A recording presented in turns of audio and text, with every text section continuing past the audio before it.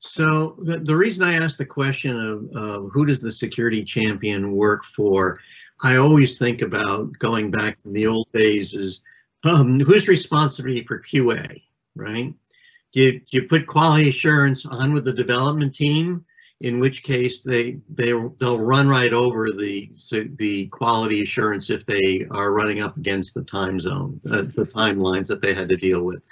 So when I think about security champions, and, and Warren sort of touched on it, is he an independent individual who can have some level of force or is he buried somewhere? Because if he's really under some other organization, a line of business exec who's driving certain pieces, he might not be heard. I know for in the banking side where you have some derivatives folks, uh, their objective is get a new app up and running. I don't care how long it lasts and when it dies, as long as I make enough money in the first 30 minutes, the rest, who cares, right? And, and and so the the securities champions liable to be run over. So I was thinking about where where does the guy belong that he can be heard and actually make sure he's providing the function he's supposed to provide.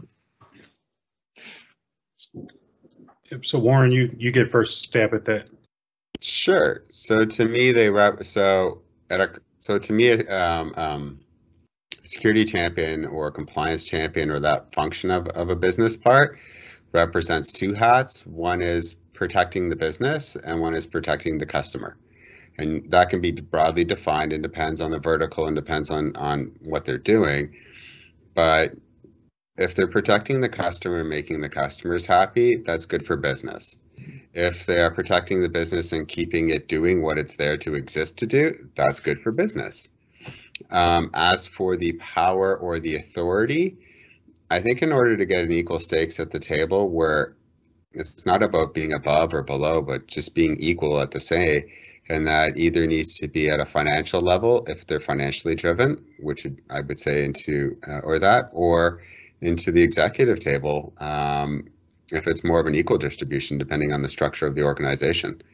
Uh, but they do need an equal say at the table just so that they can things the proper they can be part of the considerations or part of the thought process when doing things or just doing regular business.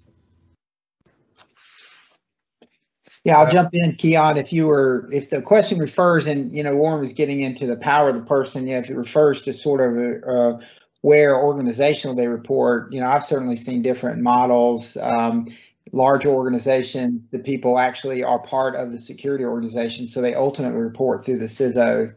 Uh, but I've seen smaller organizations where it wasn't full time role. These individuals were in the business, and so they were not. They reported up through the line of business.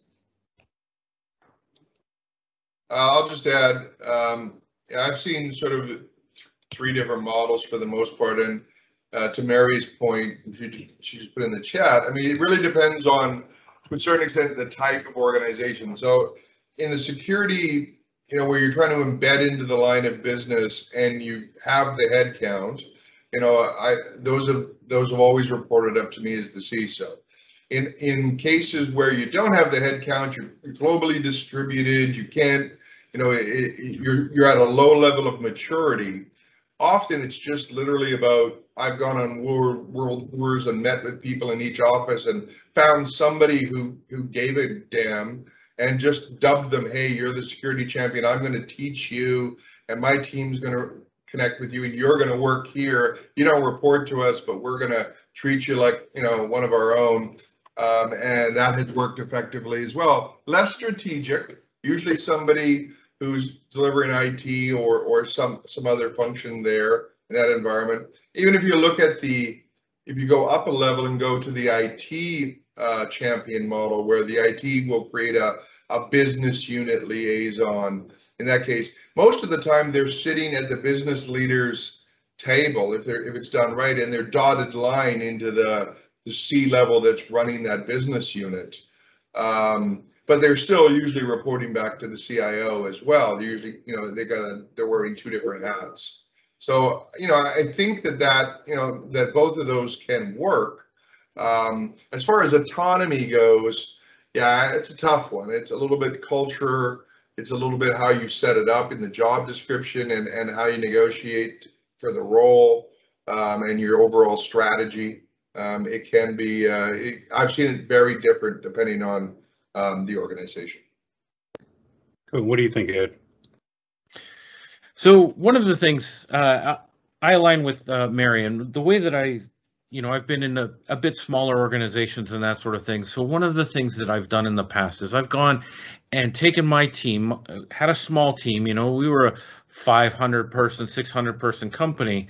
Uh, we're not going to have uh, a person in each organization, or I can't hire somebody who's dedicated to security and put them into the different business units. So what we did was we went around to each of the different business units and said, "Hey, who's interested in doing something with this?" And so we found somebody in not every organization, but you know, with each of the scrum teams, we said, "Hey, who wants to come to our meeting and learn some new things?" We went to the HR team and said, "Hey, do you have anybody who wants to do this?" And then we would have um you know a sprint meeting that was separate from everybody else's sprint meeting and we would bring them in and we would talk about what's going on within these different organizations that brought information into the security department so we can do risk assessments and then say hey have you thought about this and then they would take our education back to their team when they had their scrum meetings or their meetings with their department and say hey the security department or that department's talking about this. And they identified these risks or uh, potential risks within our process or they connect the dots because we've taught them how to do that and bring all of that together. And it's the way i think of it really is a force multiplier you know, uh, security really needs to be everybody's responsibility. But if people don't know that it's their responsibility, how are they going to be able to act on behalf of, you know, reducing risk within the organization? Well, if you tap somebody and say, "Hey, help me get this message to your team," that's the way I think of the security uh, champion. I think I just had a uh, Vulcan mind meld moment with Ed because the entire time we've been sitting here, I've been thinking, you know, the best tool I've ever seen to get security champions all over the place is the tiered organizational hierarchy that you have in NIST. And so, as an educational tool, if you guys have time or interest to look at it, one of the benefits of that hierarchy is that it assigns what is effectively a RACI chart for cybersecurity to every level of the organization. The board has a role, executive management has a role, department heads have a role, system owners have a role. Everybody who interacts with the system, the data, the environment, or any part of the organization has a clear role and a responsibility assigned to that. And once you enforce it, people start to care. You know, when you have a division director, if we take the CFO as example, and you say to the CFO, hey, I don't expect you to put your hands on keyboards and manage all of the financial systems, but whatever happens, that's your problem. So you better make sure that all the people that report to you are working with IT and working with security and working with compliance and internal audit to make sure that everything that needs to take place to protect these systems that support financial management is taken care of. Now the CFO has skin in the game and the role and responsibility that the CFO has he's paying more attention. You know, once I got fired from my job, effectively, not literally, because it really does take an act of Congress to fire a federal employee, but I convinced the people in charge of that organization to put security requirements on the performance management plan of all of the business leaders within that part of the organization. And they said, oh my gosh, this is horrible.